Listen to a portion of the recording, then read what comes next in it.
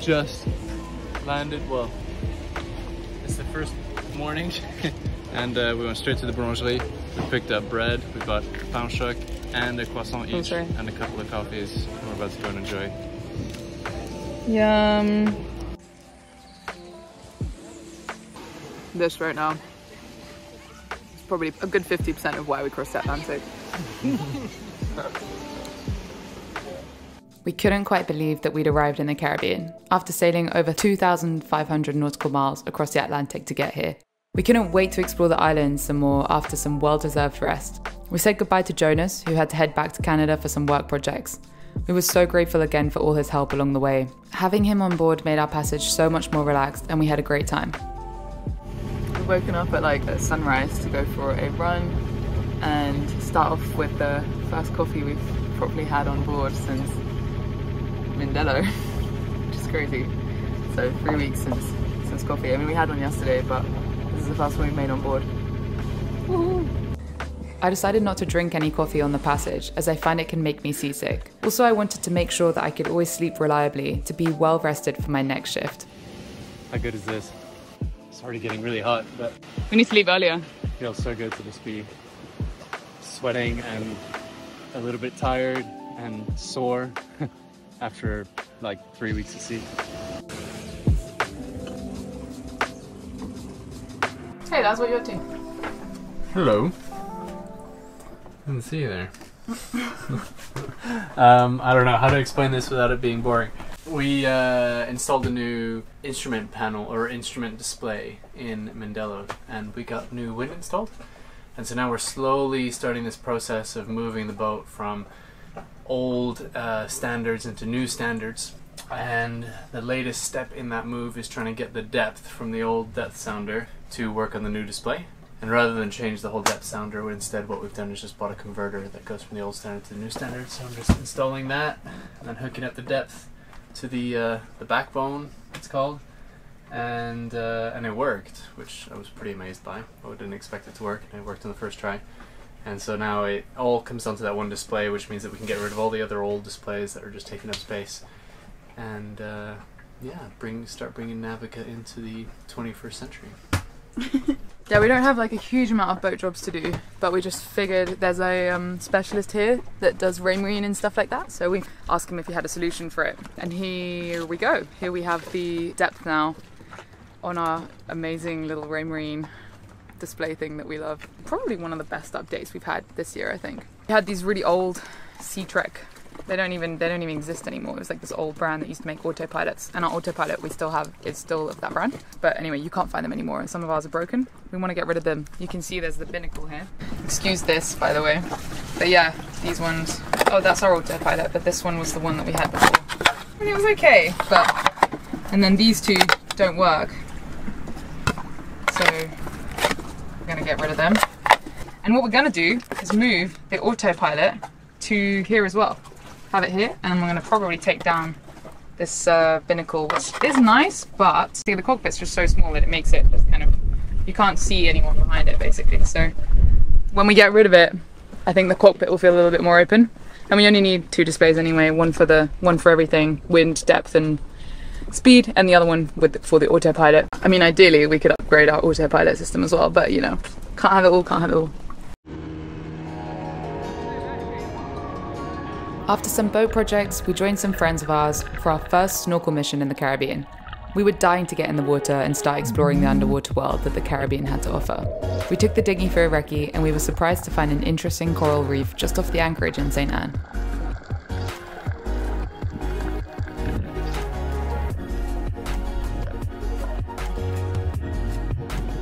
Reefs like this are something we hadn't got to experience much in the Mediterranean or the Atlantic, so we were buzzing to see all the wildlife down there.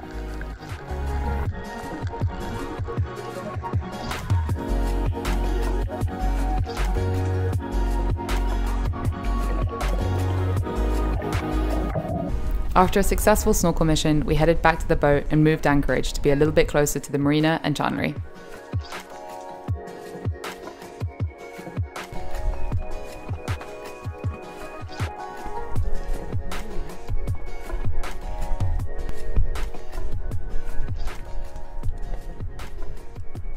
Chanry. looks like there's like a a connector I was using that shorted across the positive and the negative on the solar panel wiring, and I'm not sure how that short happened, but it seems like it did, and it just like melted the negative side completely. Luckily, it didn't. Lucky, it didn't cause a fire. So now I gotta cut it all out and uh, rewire it and do it better this time. Maybe add a fuse in somewhere. Here, it was like a. If that white plastic existed on both sides before, uh, and now on the on the negative side, it's completely melted and gone. The reason we checked was because we were taking a look at the Victron battery monitor. It just seemed like the batteries were a little bit too low because there's quite a lot of sun and there's quite a lot of wind and they're lower than they should be. So then we went to check and see if we were getting any solar power and um, weren't getting anything from solar. Not great. After a few days of fixing things and landing in Martinique, we left St. Anne and Le Marin and made our way over to our first real anchorage along the west coast of Martinique with our friends Jesse and Jan aboard Adhara.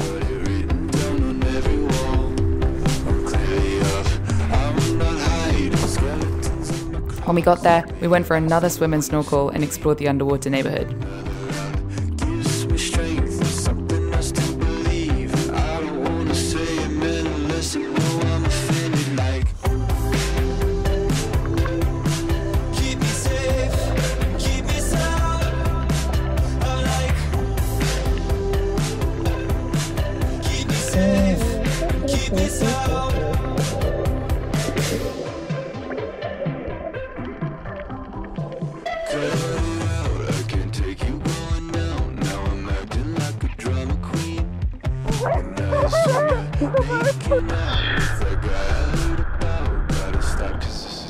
Me. I must confess that I'm so filthy. Helicopter get me. Take me to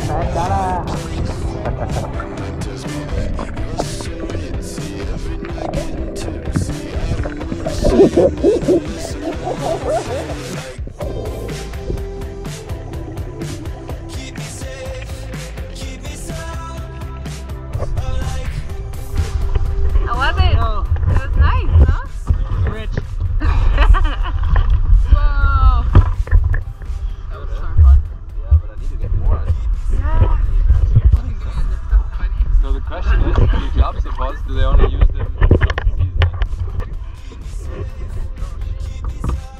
This morning's a pretty exciting day for us. because We're gonna, for the first time ever, go diving with our own gear. We picked up some gear in Tenerife because we found a pretty good deal, and we knew we were coming here to the Caribbean, and it's just great diving all over the place. But we've never dove, we've never dived, never divin, um, with uh, without like a you know dive school and going out. But we um, were snorkeling over at the point over here yesterday, and it's really beautiful and really chilled, easy. And uh, so we're gonna go over with our friends on the boat next to us, which you can maybe let's see uh, on that. It's gonna be pretty cool and pretty empowering. So we're just gonna take bottles back, get them refilled, and then we can go diving wherever we want.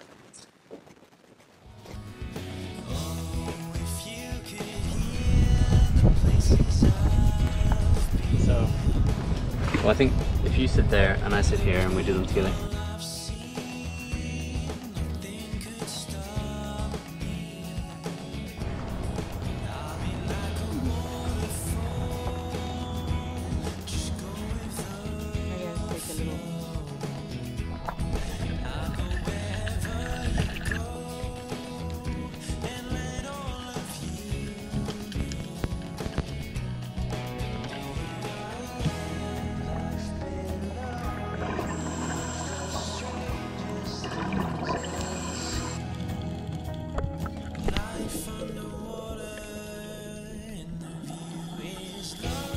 Diving with our own gear off the boat was a really cool experience.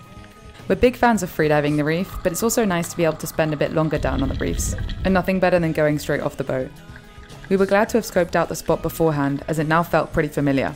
Weirdly though, visibility wasn't quite as good as the day before, And this time we even have quite a strong current, maybe because of the different time of day. So we didn't venture too far out to make sure we could get back to the dinghy okay. I couldn't see anything with the mask, right? So it was more Yeah. Oh, that was awesome.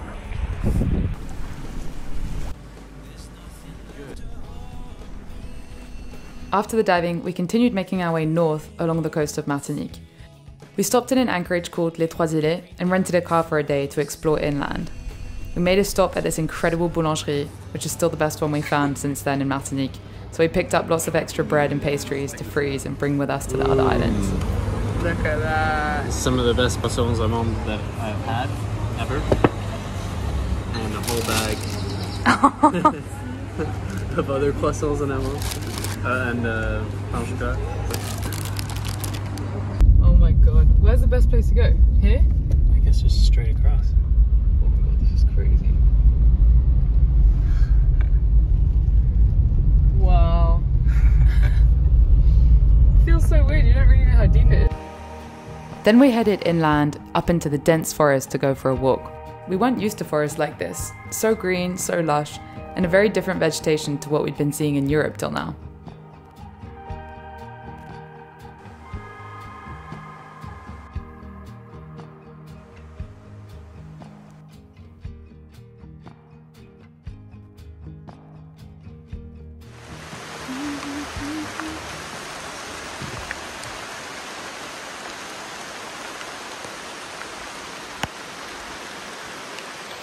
It just started raining. Yeah. There's so many schools at the moment in the Caribbean, it's kind of crazy. It's every What, hour? hour or two Yeah. over the last week or so. Something kind of fun about being in the rain though, but Well, knowing that it's gonna pass is not. and also when you're in a forest surrounded by trees, it's kind of fun. bad. smells good. So we're just gonna let this one pass and then um, head back down. I think before it gets dark.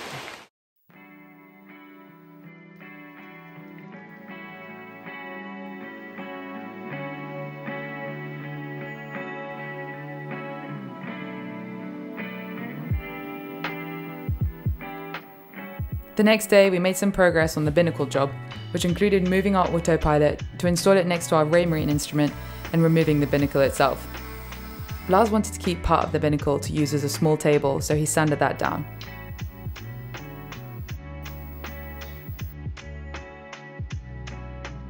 So, tools at the ready.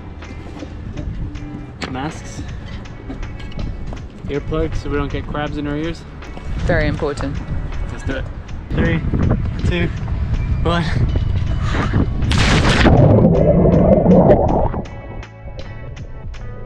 Then we thought it was time to clean our hull after the Atlantic Passage, where we'd managed to accumulate quite an ecosystem. When we arrived in Martinique, we'd noticed these small barnacle type things that had attached themselves to our hull. We'd never seen them before, but quite a few other boats also had them after the crossing.